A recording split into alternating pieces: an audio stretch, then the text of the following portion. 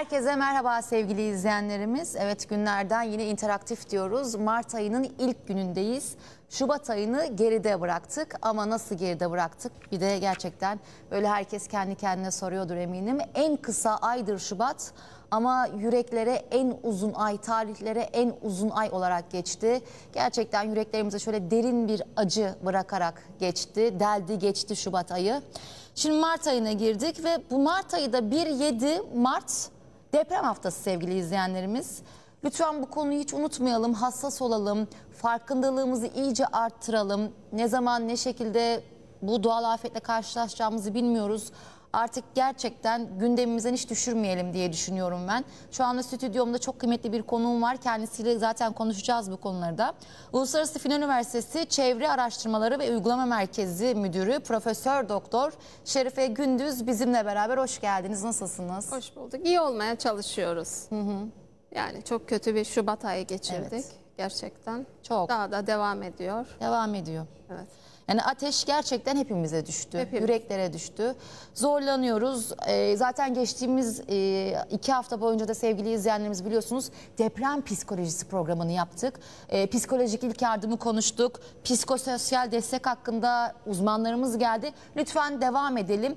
Uzmanlarımızı unutmayalım. 6 aylık bir süreç dediler zaten psikologlarımız. Yine ben zaten ara ara konuk almaya çalışacağım. Ama konuğumuz da aslında biz 8 Şubat'ta buluşacaktık. Evet. Hocam sizin 8 Şubat'ta randevumuz vardı ama maalesef e, Maalesef araya çok kötü şeyler girdi. Evet. Çok kötü olaylar girdi. Yaşadık.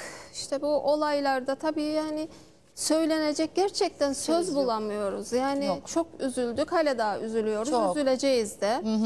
Ama işte önlemlerin alınması çok önemli. Doğal afetler oluyor zaten. Şimdi biraz sonra sizinle iklim kriziyle ilgili de konuşacağız. İklim değişikliğiyle ilgili. Bunlar doğal şeyler aslında. Evet. Ama insanın yapmış olduğu, doğaya vermiş olduğu hasarla bu işler daha da e, zorlaşıyor olduğunda ölüm oranları daha çok artıyor. Yani işte yaşadığımız depremde binaların durumu ortada, toprak yapısı ortada. Yani her şey Zeminler. aslında bilimsel zeminde hazır.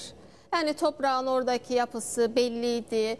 Oralara nelerin inşaatlerin işte nasıl şekilde olacağı belliydi. Deprem kuşağında olduğu da belliydi. Ama biz işte hep insan bize bir şey olmaz psikolojisiyle her şeyi görmezden geliyoruz, anlık yapıyoruz ve ondan sonra da gerçekten yani kaldıramayacağımız bir yükle karşı karşıya kalıyoruz. Hem psikolojik hem ekonomik. her anlamda ama doğanın Her hiçbir anlamda. suçu yok değil mi hocam? Yok. Doğa hiçbir Yok. suçu Doğada yok. zaten depremlerde yüzyıllardır oluyor. Bir şey. Beklenen bir şeydi. Zaten bilim insanları da bunların sürekli uyarılarını yapıyor. Yani kendimizi böyle tuhaf bir şekilde işte hep kötü şeylerin uyarısını yapıyor şeklinde e, görmeye başladık ama bunu da yapmak durumundayız. İklim krizi de aynı şekilde Evet. aynı uyarıları gerektiriyor. Yapıyoruz yapıyoruz ama işte önlem almadan da çok kötü bir deneyim yaşadık. Gerçekten yaşanmaması gereken bir deneyim yaşadık. Yani bundan sonra e, atacağımız her adımın bilimsel e, çerçevede olması gerekiyor. Bilimin Evet. ışığında olması gerekiyor. Evet. Rant ve diğer şeyler artık bir köşeye bırakmamız gerekiyor. Ve geleceği, çocuklarımızın geleceğini, ülkelerinin ve doğanın geleceğini düşünmek için de artık tam zamanı diye düşünüyorum. Geç bile kaldık. Evet maalesef. Ee, şimdi hocam aslında iklim krizini konuşacağız sizinle. Bu da çünkü gerçekten e, çok uzakmış gibi geliyor ama aslında çok yakında. Değil mi? Hani pandemi için de öyleydi. Keza deprem için de. Hani e, sanki çok uzakta olacakmış gibi geliyor. Oysa ki bir anda karşımıza çıkabiliyor. Birisi bize pandemi olacak derse inanır mıydık? Hayır, oldu. E, asrın felaketini yaşadık. Şimdi iklim krizi de aynı şekilde. Sürekli yine uzmanlarımız sizler uyarıyorsunuz. Su içemeyecek duruma geleceğiz diyorsunuz. İsterseniz hemen başlayalım. Yani Başlayalım iklim e, tabii. krizi hakkında bize farkındalık yaratın. Çünkü artık gerçekten çok ihtiyacımız var. Evet. Ee, şimdi iklimler normalde de değişiyor. Ee, bunu biliyoruz. Yani sürekli de söylüyoruz. İklim değişikliği zaten normal bir süreç. Ama biz sanayi devriminden sonra maalesef bu süreci çok hızlandırdık ve artık kontrol dışında süreç. E tabii e, işte 1990'ların başında nüfus 5 milyarken şu andaki nüfus 8 milyara geçmiş durumda. Yani yüzde o kaçın üzerinde bir artış var yani bunun. Yani buna doğal kaynaklar nasıl olacak da e, cevap verecek bu isteklere, bu insanın bitmeyen, tükenmeyen hırslarına, egolarına nasıl cevap verecek? Veremiyor artık. Yani sanayi devriminden sonra zaten fosil yakıtların kullanımıyla beraber e, karbon salınımı çok fazla oldu ve e, dünyanın atmosfere bu karbonlar işte karbon salımı sonucu bir e, sera gazları dediğimiz gazlar var ama daha da birikti. Birikince de e, bir serayı düşünün. Seranın içine girdiğinizde nasıl bir birden böyle hele yazsa da çok sıcak olur. Nasıl kendinizi seradan dışarı atacağınızı düşünürseniz şu anda dünyanın ısınması da o şekilde. Yani dünyayı kendi haline bırakırsak ancak düzelecek. Ama biz kendi haline bırakmamaya devam ediyoruz. Koplar oluyor, değişik e, konferanslar oluyor. Onlardan önlem almaya çalışıyorlar. Evet. E, büyük ülkeler e, ve sözleri veriyorlar. 2030'da işte yüzde 40'ını azaltacağız kar- karbon salınımımızın. 2050'de sıfır e, emisyona ulaşacağız şeklinde Evet. sözler veriyorlar. Adaptasyon çalışmaları yapılıyor ama burada da bir adaletsizlik var. Yani iklim adaletsizliği diye de bir kavram var ve e, şimdi düşünün bizim ülkemiz iklim değişikliğinden, iklim krizinden en çok etkilenecek ülkeler arasında 5. sırada Avrupa'da. Ki Yani çok büyük öyle sanayi Ha, bizde var mı? Yok. Biz ne kadar etkiliyoruz bu işi? Hiç diyecek kadar az. En fazla kim etkiliyor? Çin, Amerika, Avrupa, Hindistan etkiliyor. Biz biz bunun neresindeyiz? Hiçbir yerinde yok. Yokuz. Ama en fazla etkilenecek olan biz miyiz? Burada adalet var mı? Yok. Yani onun için her ülkenin farklılaştırılmış sorumlulukları olacak ve o sorumlulukları yerine getirmek durumunda olacak. Eğer dünyada bir gelecek düşünüyorsak diye düşünüyorum. adaleti buradan sağlanması. Tabii buradansa gerekiyor. herkesin Doğru. yani bizim şu anda tamam sera gazı salınımımız belli derecede var. Çok fazla yok ama Ama? Ama, ne yapacağız? Biz de kendimize göre uyumlaşacağız. Çünkü en fazla etkilenecek ülke olarak bizim aslında desteklenmemiz de gerekiyor maddi anlamda, ekonomik anlamda da. Çünkü gerçekten uyum çalışmaları da ekstra bir yük ve külfet. Tabii. Ama sen yapıyorsun o taraftan. Evet. Ama ben onun zararını çekeceğim ve yani burada çok büyük Ekonomisi bir kazanıyor evet, onun. Evet. Can katıyor ekonomisine Aynen. ama Aynen öyle. sorununu evet, çekiyoruz. sorununu da biz çekeceğiz 5. ülke olarak. Bu gerçekten büyük bir Adaletsizlik. İk- İklim krizinde böyle bir durum var. Yani ne oluyor? İklimler değişiyor. Son 10 yılda en fazla sıcaklık artışı son 10 yılda e, artıyor. Görselimiz var. Hemen Biraz sonra- alalım. Evet, evet. Görsellerimizi alalım. Evet, görsellerimizi alırsak e, sıcaklık artışını oradan çok daha rahat anlayabileceğiz.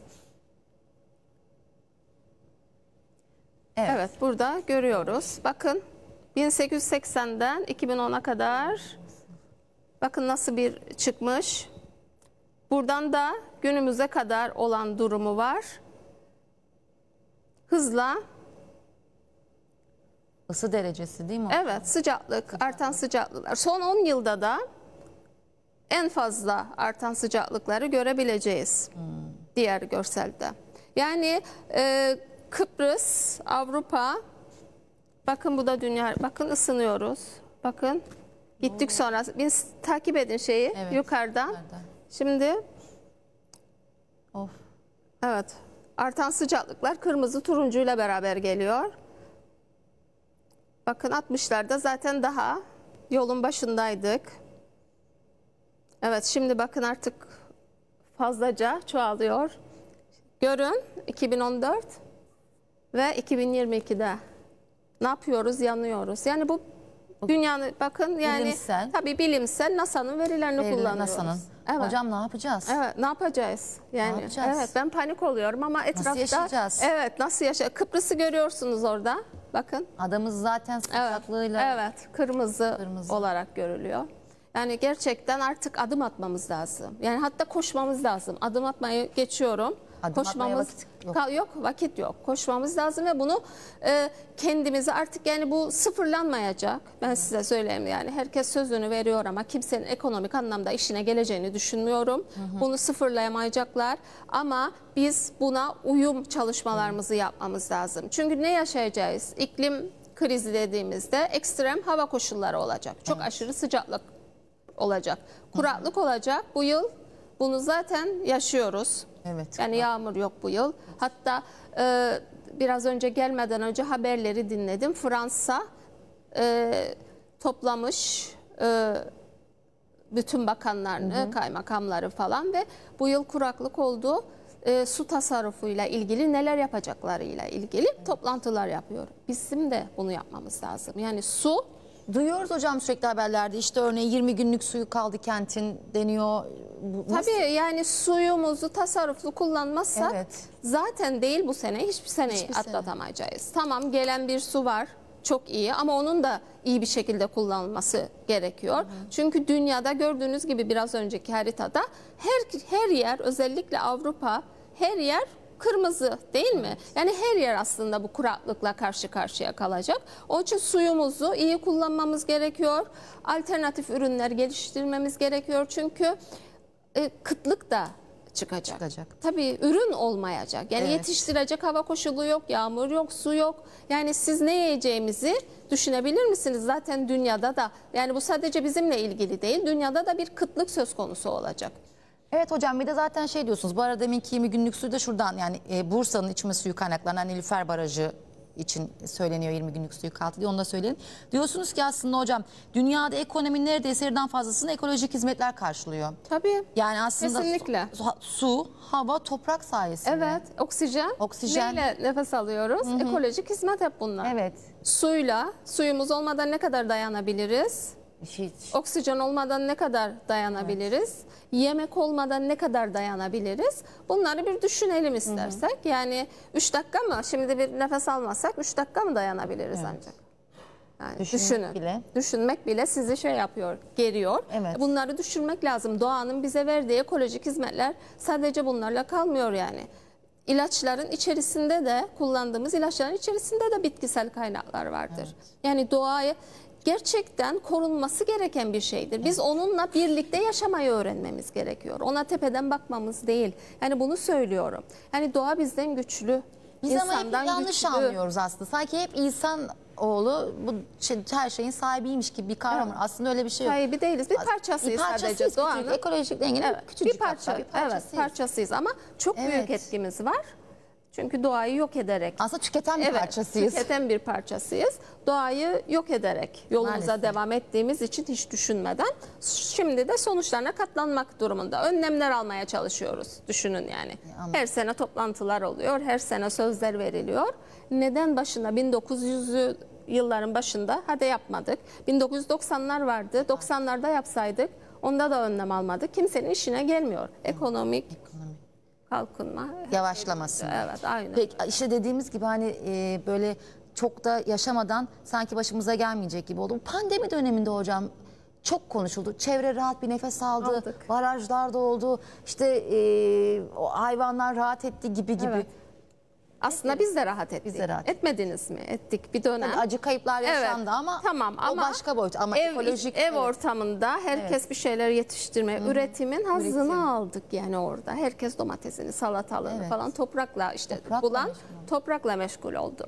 Yani tabii Covid döneminde ta- e, taşıma falan da olmayınca çevreye bir olumlu etkisi oldu ama ondan sonra zaten çok fazla İşte şey uzun sürmediği için şey e, Ha, ozon tabakası falan onlar da evet ama iklim kriziyle ilgili olumlu hiçbir şey olmadı. Olmadı.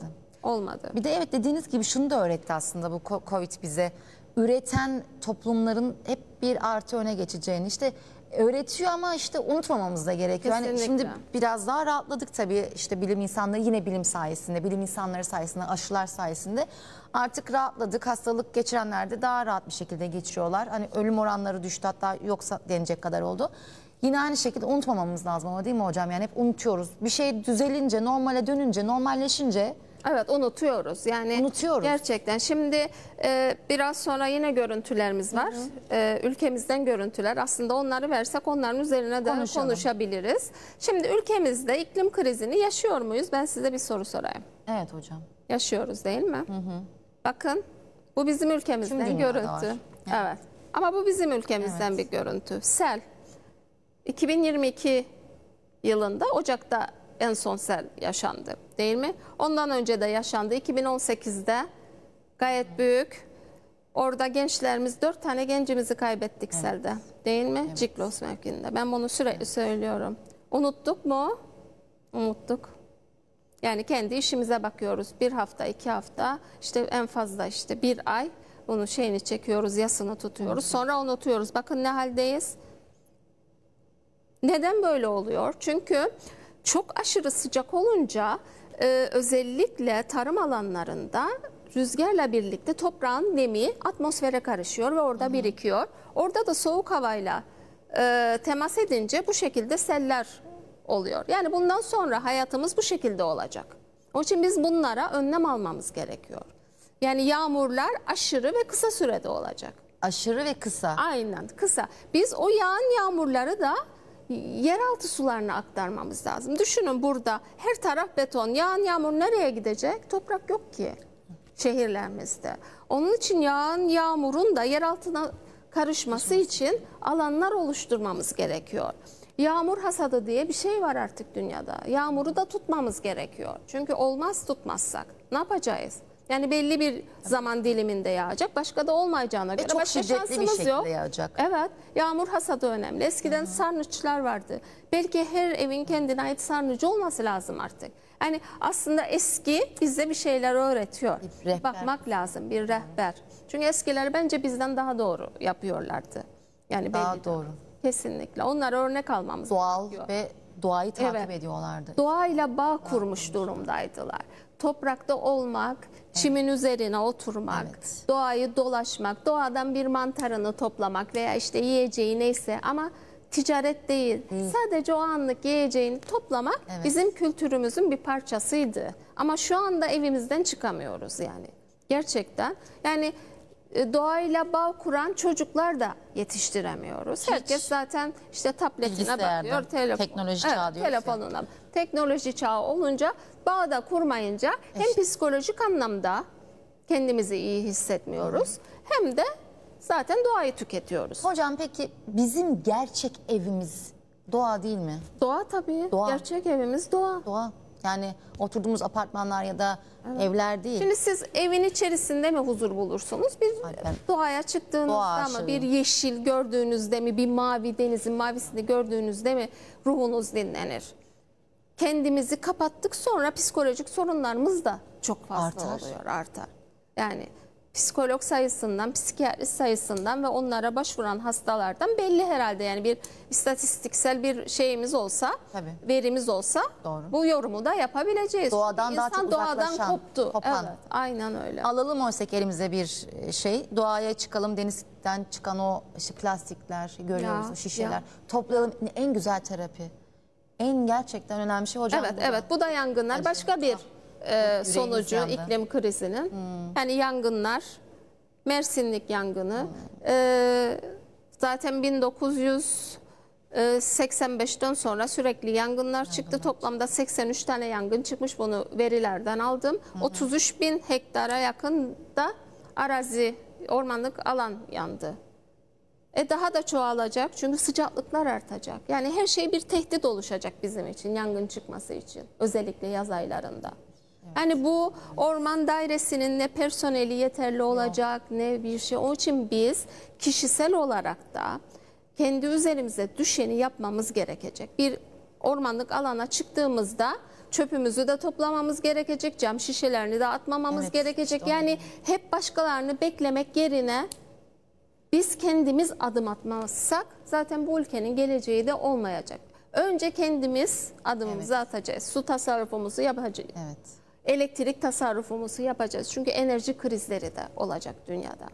Yani var, başladı zaten. Başladı. Ülkemizde de var bu. Var. Onun için önce kendi adımlarımızı atacağız, sonra toplumsal adımlarımızı atacağız, sonra da politik adımlarımızı atacağız. Bu bir bütün. Bütün. Dur. Ve Ayrı ayrı düşünemiyoruz. olması lazım değil mi hocam? Evet. Yani bu çevre politikalarının Evet. sürdürülebilir Yani oturup bir lazım. masa başında sadece üretmek değil, Değil, onu uygulamak uygulama. da önemli. Şimdi o zaman çok güzel bir noktaya Deniz. Ee, Artık Mart'a girdik. Yavaş yavaş bahar Başlıyor. sonra yaz başlıyor. Hocam şimdiden lütfen seslenin. Bu, bu, bu sene gerçekten artık yüreğimiz daha fazla felaketi kaldıramaz. Evet. Lütfen yani buradan izleyenlere, vatandaşlarımıza seslenin. Böyle e, Ülkemizi seviyorsak, dünyayı seviyorsak Evet, ve burada yaşamak ne, istiyorsak yapalım, ne yapmayalım? Ne yapmayalım? Önce ormanlık alanlara kesinlikle cam şişe şeklinde şeyler bırakmamamız lazım. Çöpler bırak. Zaten hiçbir çöpü girmesin. Evet, mümkünse insan girmesin. Evet, çünkü girdiğimizde de temiz bırakmıyoruz. Tehlikeli boyutlar yaratıyoruz ondan sonra. Yani doğada böyle kıvılcım yaratabilecek her şeyin e, toplanması gerekiyor ve oralarda olmaması gerekiyor. Daha doğrusu işte piknik yapmayacağız yani. Yapmayacağız. Yani Mart'tan sonra artık piknik yapma da yasaklanması gerekiyor. Çünkü ülkemiz artık bundan sonra bir orman yangını daha kaldıramaz diyeceğim ama maalesef Dünya da kaldıramaz. Evet, dünya da. Avustralya'da yandı. Aa, tabii. Aylarca yandı. Tabii, ne kadar? yandı. Yani canlar, Canlılar gitti orada. Yüz, tabii Kesinlikle. Yani ülkemizi insan yaşadığı evi kirletir mi? Kirletmez. Kirletmez. Eğer seviyorsanız kirletmememiz gerekiyor. Zaten ilk adım da oradan başlayacak. Yani Bir de çok da şanslıyız. Ormanlarımız, denizimiz aslında Evet, dünyanın en güzel yerlerinden birinde yerlerinden birinde yaşıyoruz. yaşıyoruz. Şimdi biraz daha bu sert, bu yaz sert mi geçecek hocam? Bu Her, yaz? her yaz gittik sonra sertleşiyor zaten gördünüz biraz önce. Yine onu görmek istiyorum aslında. Evet. Öğretmen arkadaşım Eğriler, evet. Bol bol verelim o görüntüyü. Evet. Şimdiden oturduğumuz Yani yerde. sıcaklıklarla birlikte her Evet. şey artacak. Şimdi mesela Şubat yeni bitti. Mart'tayız. Bugün 26-27 derece. Sıcak. Önümüzdeki meteoroloji uyardı 29. Arkamızda Bakın, kalsın hatta bu lütfen. Evet. Bu, bu sürekli, Sürekli dönsün. dönsün. Sürekli evet, dönsün. evet. Meteoroloji de e, haberde bugün uyardı. Yani artışlar olacak. E, yağmur yine yok ortada. O zaman ne yapacağız? O için bunların önlemlerini almamız gerekiyor. Yani bunun tabii politik anlamda da hükümetlerin de yapacağı şeyler var. Vatandaş- Vatandaşların da var. Topluluk olarak hepimizin, Hepimizin. yapacağı şeyler mevcut. Ama adım atmamız lazım. Bilinçlendirme kampanyaları, sivil toplumların da bilinçlendirme kampanyaları yapması lazım. Özellikle suyla ilgili, enerji tasarrufuyla ilgili okullarda eğitim verilmesi lazım. Herkesin ne yapacağını bilir durumda olması lazım. Olduktan sonra değil. Önceden önlem alırsak olacakların önüne geçemeyiz ama olduktan sonra kendimizi bir tık daha rahat hissederiz diye düşünüyorum. Yani bunların önüne biz geçemeyiz. Geçemeyiz. Eğer dünya da e, işte bu iklim krizini e, başlatan ülkeler, etkileyen ülkeler eğer önlemlerini almazsa biz bunun altından kalkamayacağız ama kendimizi uyumlaştırmamız gerekiyor. Yani bir felaketle karşı karşıya kaldığımızda nasıl davranacağımızı bilmemiz gerekiyor. Sel olacaksa selleri önlememiz gerekiyor. Bununla ilgili bilim insanlarımız var. Evet. İnsanlar kendileri sürekli konuşuyorlar. Onları dikkate alarak önlemleri de almamız gerekiyor. Özellikle sellerle ilgili, yangınlarla ilgili de altyapımızı tamamlamamız lazım. Orman dairesinin ekiplerinin olması gerekiyor. Helikopter diye söylüyoruz, uçak diye söylüyoruz. Onların tamamlanması gerekiyor ki en etkili noktalarda ulaşım ve yangın söndürme onların işi olacak. Yani elimizden geleni fazlasıyla ardına koymadan yapmamız gerekiyor tüm halk olarak, ülke olarak. Evet. Herkesin duyarlı olması Herkesin gerekiyor. duyarlı Ama dediniz lazım. ki eğitim aslında. Biraz da ağaç yaşken mi eğitilir hocam? Yani hani biraz hani siz projelerden de bahsedin çünkü biraz da hani eğitimden de geçiyor Evet. birçok şey. Şimdi ağaç yaşken eğilir. Eğitim zaten depremde de hocalar hep söyledi. Eğitimin önemine Evet. vurguladılar. Hatta jeoloji eğitiminden bahsettiler. Evet. Eskiden müfredatta var, şimdi yok falan herkes. Çevre de önemli. Çevrenin artık bir kitaba mitaba ihtiyacı yok. yok. Çevre bütünlüklü olması lazım. Önce öğretmenlerimizin duyarlı olması lazım. Sonra da yetiştirecekleri öğrencilerin duyarlı olması lazım. Her öğretmen yılda işte vereceği derslerde çevreyi işlese matematik dersi içerisinde de örnekler verseniz biz zaten bu işi çözeriz. Çünkü öğretmeni örnek alıyor öğrenciler. Evet, ve doğaya Özellikle çıkarak küçükler. işte değil mi hocam? Evet Sınıflarda aynen öyle. doğaya çıkarak, Sınıfta hani da değil evet dağ. aynen öyle doğada eğitim Böyle, vermeleri evet, lazım. doğada, Evet ki e, toprakla. bizim Yeşil Okullar projemiz var. Final Üniversitesi, Kıbrıs Türk Girişimci Kadınlar Derneği ve Milli Eğitim Bakanlığı ile birlikte Yeşil Okullar e, dönüşümünü başlattık. 30'a yakın okulumuz var müracaat eden. Kendi işlerinde sürekli aktiviteler yapıyorlar. Çevreyle ilgili marullarını yetiştiriyorlar, ağaçlarını İşte. dikiyorlar. Doğaya çıkıyorlar ve doğayla bir bağ kurmak temel hedefimiz.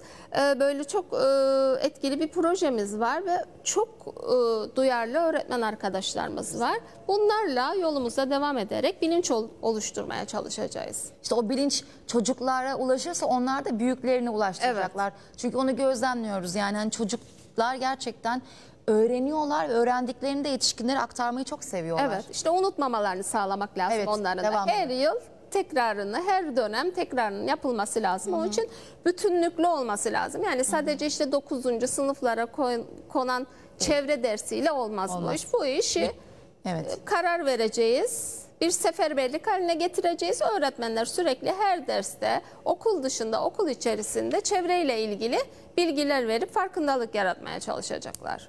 Evet. Şimdi e, farkındalığı diyorsunuz ki farkındalığı arttırarak herkese bilinçler Tabii. aşılanmalı. En hep bunu vurguluyorsunuz. Bu farkındalık, farkındalık. Farkında olmamız gerekiyor. Evet. Bunun, bu tablonun bakın Kıbrıs orada ve bilim insanları söylüyor, raporlar söylüyor. Bunu ben çizmedim, ben boyamadım, özellikle de yapmadım. Evet. Bilim insanları ve raporlar bunu söylüyor. Bu bir kurmaca, düzmece değil. Bu bir net bilgi. Onun için önlemlerimizi alacağız. Sellerle ilgili, yangınlarla ilgili, su, tarım ürünleri, her şeyle ilgili. Yani çünkü her adımımız, iklim krizi bizim her adımımızı etkileyecek. Ekonomimizle ilgili. Ekonomimiz de gelişirken yeşil ekonomi şeklinde gelişmesi lazım. Doğayı tüketmeden sürdürülebilir şekilde yapmak lazım. Dünyada şimdi yeşil ekonomi trendi var. Yani Tabii, tabii. onun için biz de bunlara adapte olup ayak uyduracağız ve dönüşümümüzü sağlayacağız. Sağlayamazsak zaten sel felaketleriyle, orman yangınlarıyla ne ekonomimiz kalacak. Bunlar aynı zamanda hem doğal kaynakların yok olmasına, canlıların yok olmasına neden olurken aynı zamanda size ekonomik zarar veriyor. büyük zarar. Hani bir orman yangınında ne kadar ekonomik zararınız var? Biliyor muyuz? Bilmiyoruz. Bir selde ne kadar ekonomik zararımız oldu? Biliyor muyuz? Bilmiyor muyuz? Ve çoktur yani eminim. Çok, çok. Ama kimse bunu telaffuz etmiyor. Bunun da telaffuz edilmesi gerekiyor. Yani toplum olarak, her birey olarak kesinlikle bilinçlendirmeye ihtiyacımız var. Okuyalım. Zaten herkesin elinde telefon. Yani burada bizim de görevimiz, bilim insanlarının görevi uyarmak. Ama bilinçlendirmek için birini beklemeye de gerek yok. Bilgi Okumak çağındayız. lazım. Evet Google'a yazın Evet. iklim krizi. Okuyun yani okuyacağınız yerleri de biliyorsanız doğru bilgiye erişim çok da zor değil yani bu şartlarda. Evet hocam aslında doğru yerlere girersek resmi kaynaklara bilgi çağındayız. Yani bir sürü e, doğru bilgilerin verdiği bizi yönlendirecek. Sizin Aynen. E, kişi sizin e, ünvanınızda insanlar var, üniversiteler var. Onların bölümlerine Evet, gireriz. üniversite- Üniversitede zaten değil mi hocam? Yeni Evet. bir bölüm açtın. Bölüm mü açtın? Merkez, Şey, kurduk. açtın. Evet, çevre araştırmaları Evet. merkezimiz var Final Üniversitesi'nde.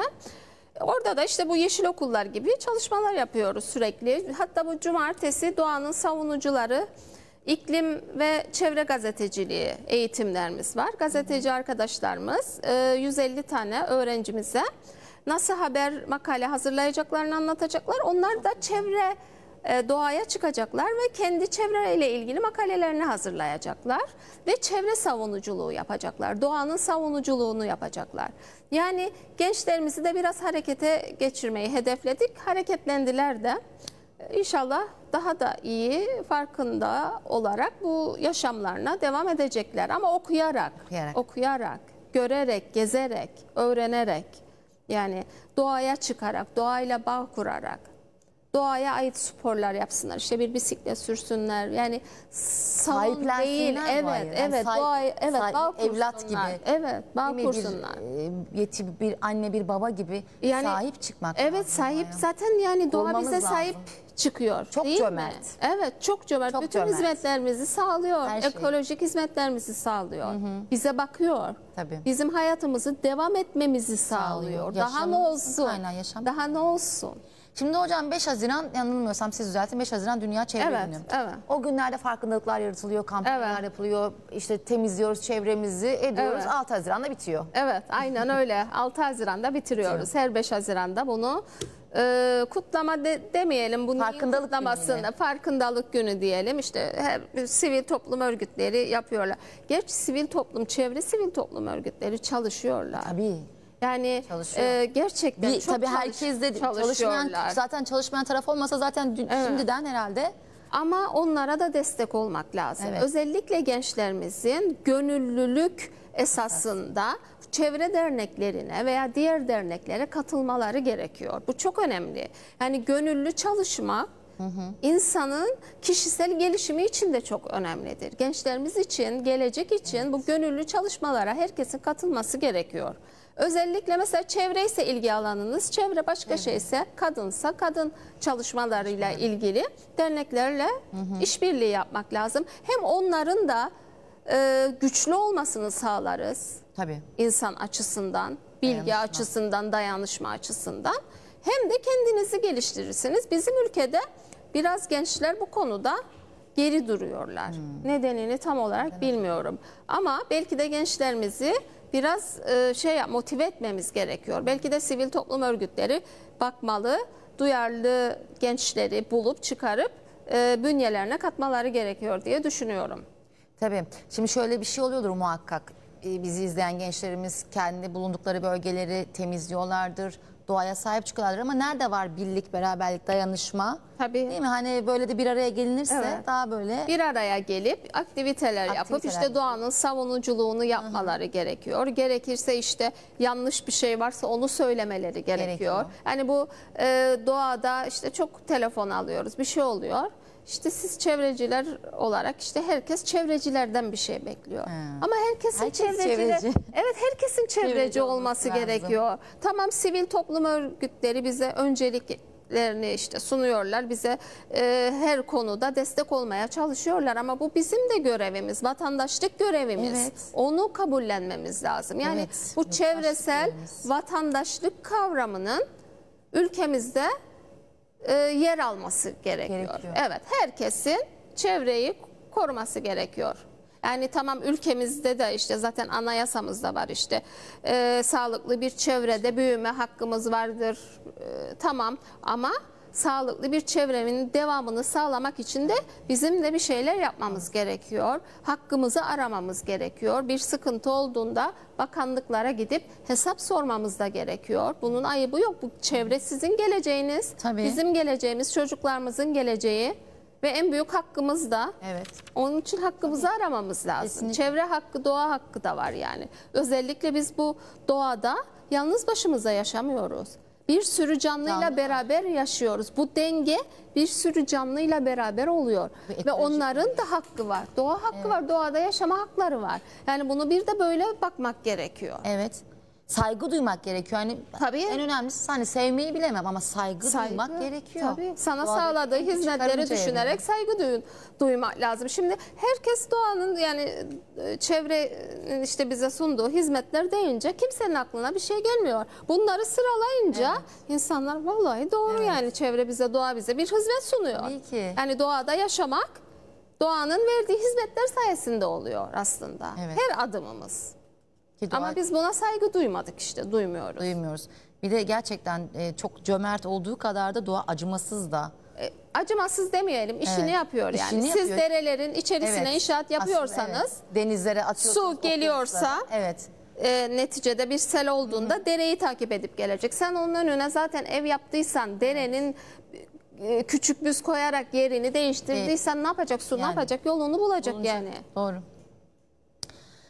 Yani siz bize o zaman yine yine söyleyin yani artık gerçekten öğrenmemiz mi gerekiyor, farkında olmamız mı gerekiyor dediğimiz gibi işte o kapıyı çalmadan hiç tehlikenin farkında değiliz. Hani yine iste, isteyen istediği gibi davranıyor doğaya, hayvana. Kapıyı çaldı ve içeride yani şu anda görüyoruz. Tehlike içeride. içeride sevgili izleyiciler. Yani çaldı.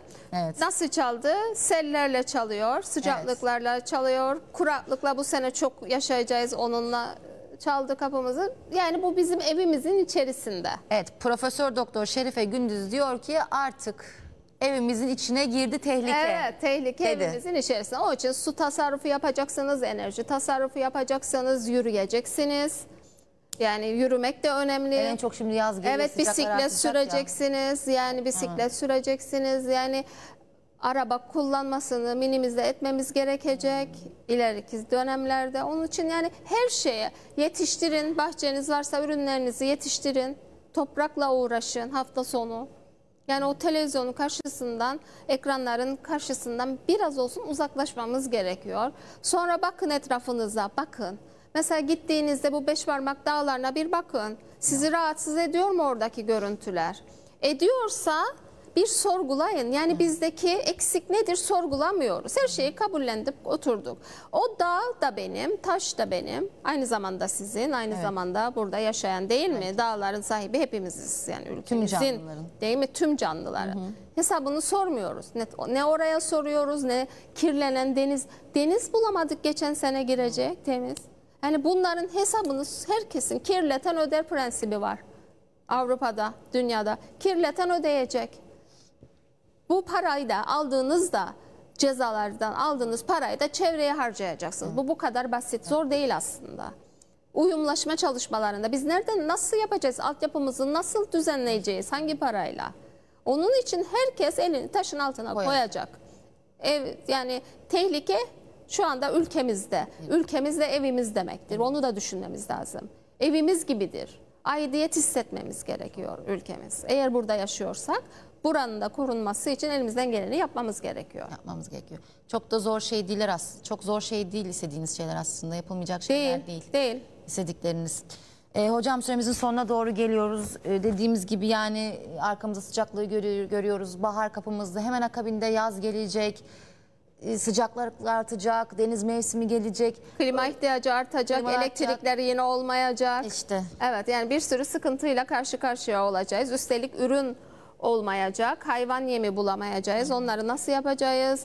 Ee, hayvan yemi bulamayınca yurt dışından mı getireceğiz? Onun üretimi ne kadar pahalı olacak? Sonra et, tavuk, yumurta hepsi bir arada. Hepsi bir arada. Yani yiyecek bir şey bulabilecek miyiz? Onları oturup planlamamız gerekiyor. Bu bir kara tablo değil. Bakın Fransa'da aynı şey yapıyor. Ama- Yani haberlerde söyledi. Önlemlerini başladılar. Kuraklık var. Sıkıntı yaşayacağız. Hem suda hem gıdada hem enerjide insanlar kendi ülkeleri için bir şeyler yapıyorlar. Biz de kendi ülkemiz için bir şeyler yapmamız lazım. Adım atmamız lazım. Hatta koşup koşmamız Koşmak. gerekiyor. Çünkü diyorsunuz ki iklim krizinden en fazla etkilenecek 5. Beşinci ülkeyiz. Beşinci, bu da bilimsel bir gerçek. Herkes girsin şeye Google'a yazsın yani. Evet. Evet hocam biz sizi yine böyle gerçekten havalar tam ısınmadan konuk almak istiyoruz. Çünkü unutmayalım. zaman isterseniz. Unutmak e, doğru bir şey değil. Siz bilim insanları sayesinde hatırlayalım ve farkındalığına iyice varıp uygulamaya geçelim istiyoruz.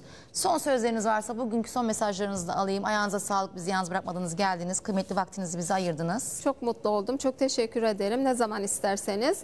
Ee, sorgulamayı öğrenelim. Gençler olarak da soru sormayı öğrenelim. Sorgulamayı öğrenelim. Neyin, niçin var olduğunu doğada onları da öğrenelim. Attığımız her adımın e, doğayı nasıl etkileyeceğini düşünmeden atmayalım diyorum. Evet. Çok teşekkür ediyorum. İyi ki varsınız, iyi ki geldiniz. Teşekkür ederim. Sevgili izleyenlerimiz bugünlük bizden bu kadar.